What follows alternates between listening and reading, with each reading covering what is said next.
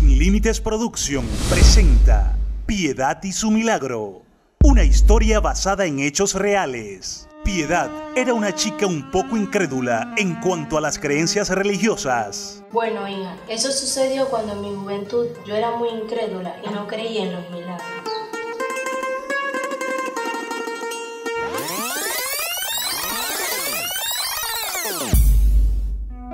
Ella vivía momentos difíciles en cuanto a la formación de una familia junto a su esposo Cecilio. Ya, por favor, cálmense. ¿Hasta cuándo? Suegrita, usted lo que le tiene que dar un cursito a esta señora. Esta ya no sabe nada. Y gracias a la insistencia de su amiga Petrica, Piedad decide creer. ¿Cómo va a ser, comadre? No diga eso. Vamos a encomendarnos al doctor José Gregorio Hernández. Ay, comadre, es Cecilio. Y poner en manos del venerable José Gregorio Hernández Ya que usted es el médico de los pobres. Eh, para que ayude a Piedad, a mi mujer Piedad. y de esta forma lograr el ansiado milagro.